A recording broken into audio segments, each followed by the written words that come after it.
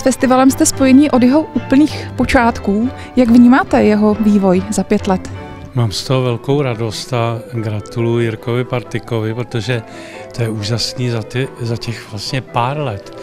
Tak z toho udělal jeden z nejvýznamnějších festivalů. Jaký přínos má podle vás festival pro Jižní Moravu?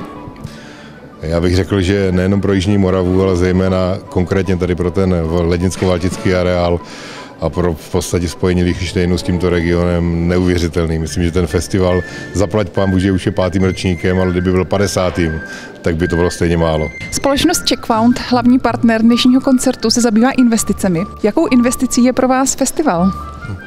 Velmi dobrou, protože některé investice se dají spočítat, ale do některých musíte jít bez toho, aniž byste byla schopna počítat, protože tam je něco víc. A myslím, že v této době, v této složité době, kdy jsme velmi ovlivňováni jakýmkoliv, jak soukromým, tak pracovním životem, tak toto jsou investice, které se nám vrátily ještě dřív, než začaly.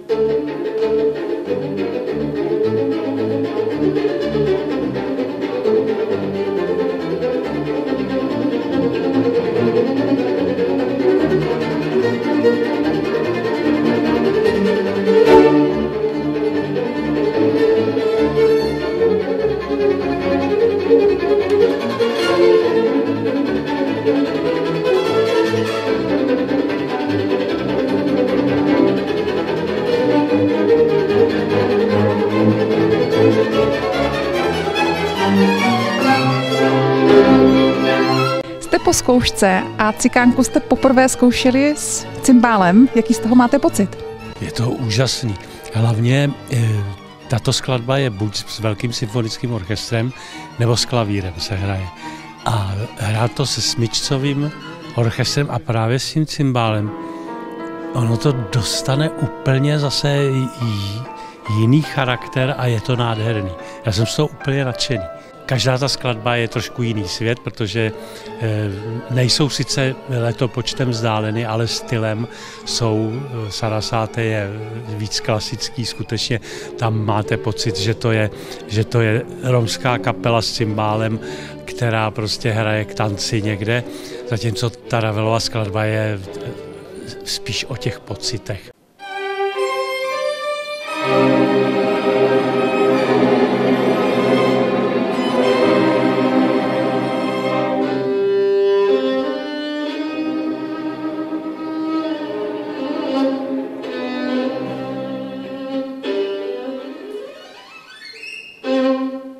V ruce máte krásný nástroj Carlo Bergonzi. Můžete nám ho trochu představit? Je to samozřejmě krásný nástroj, starý nástroj, minimálně 300 let starý. Je tam cedulka Carlo Bergonzi, jestli ovšem to Carlo Bergonzi je, toť otázka, protože ne všechno, co je napsáno v ústích, platí a ne vždycky. Nicméně zní krásně a jsem s tím zatím velmi spokojen a i lidem se to líbí. Tento nástroj je v skutku takový unikát, protože, eh, jak je vidět, je celý v kůře. Všimněte si, že ta kůra není opracovaná, což eh, všude na světě, do posud, kde jsem s ní vystoupil, tak to má veliký ohlas vždycky. A i ten zvuk je velice zajímavý, možná bych kousíček i zahrál.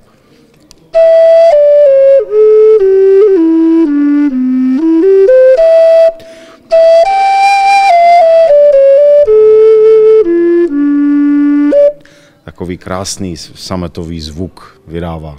Takže eh, já doufám, že se lidem budou rumunské tance a teď to musím spočítat, myslím, že těch fléten, těch tanců je šest a myslím, že nástrojů těch lidových fléten je také šest. Tak doufám, že se jim to bude líbit.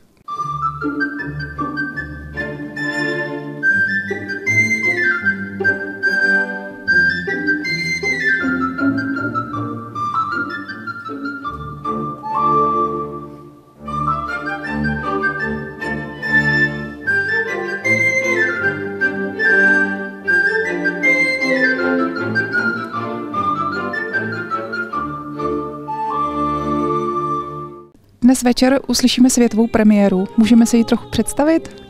Určitě. Valašské sonety jsou kompozicí, která reflektuje eh, určitým způsobem eh, valašskou lidovou poezii, ať už v textech nebo v melodiích a je to kompozice, která vznikla opravdu teď celkem nedávno, je pro lidový mezzosoprán. thank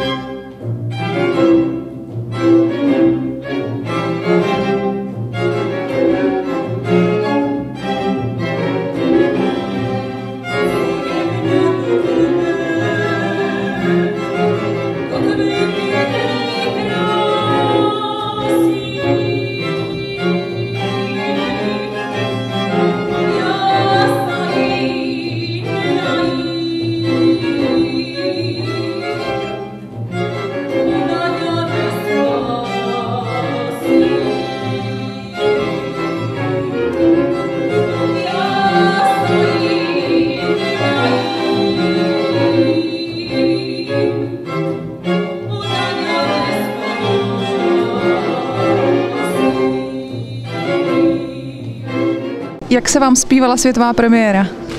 Mně se zpívala moc dobře.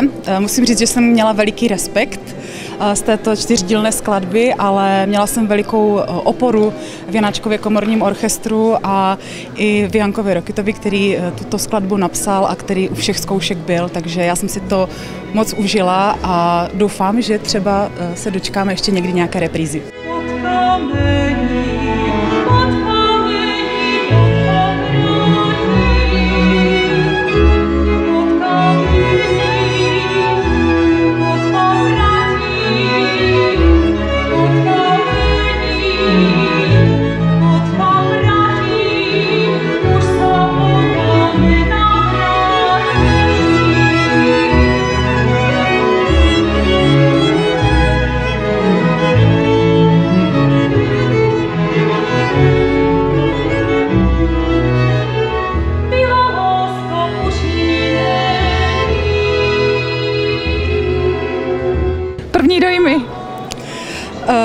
Radost, že to máme za sebou a zároveň trošku uh, smutný pocit z toho, že kdo ví, na jak dlouho uh, jsme dneska hráli a zpívali naposledy.